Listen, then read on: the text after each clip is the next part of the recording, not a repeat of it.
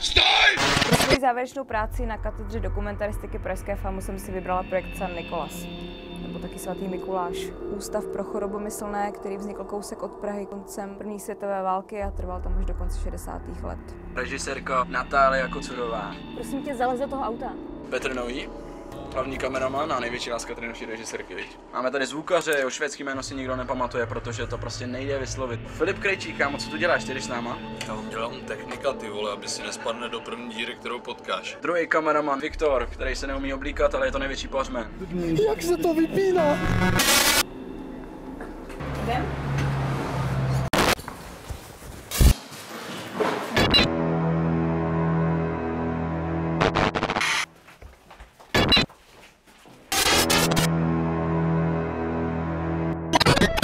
Jo, koukejte se kam šlapete, jsou tady samý díry. Co to bylo? Už nevěří, který ty palec zavřel ty dveře.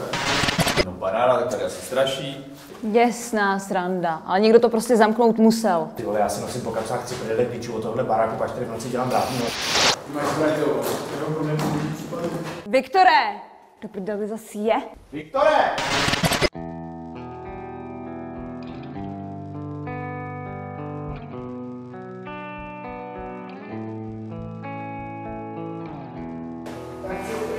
Pryč.